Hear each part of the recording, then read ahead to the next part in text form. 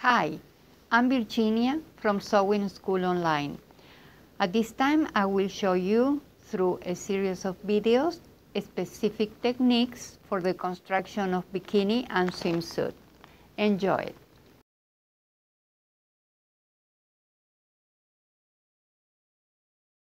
Fold down the tip for about half an inch. If the triangle belongs to a big size, fold 3 quarters of an inch. Baste manually on top of the folded tip from side to side.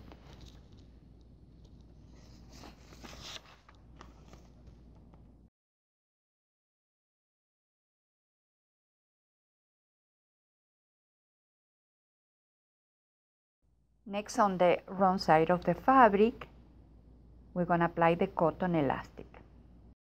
Set at the machine, differential one point up together, stitch length normal, knife on, stitch width normal too.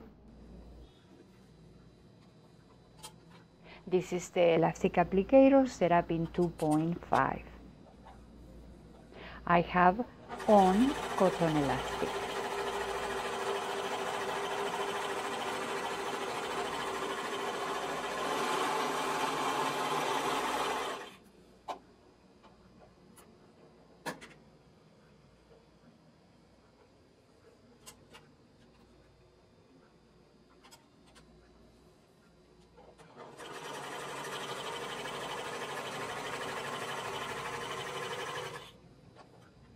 Now halfway on the second side, stop and cut the elastic tail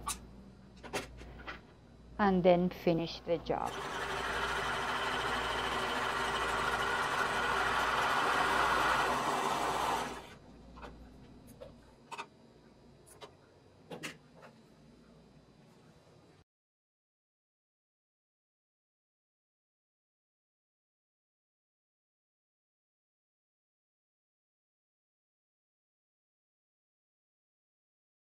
Hi, I hope this video has been useful to you.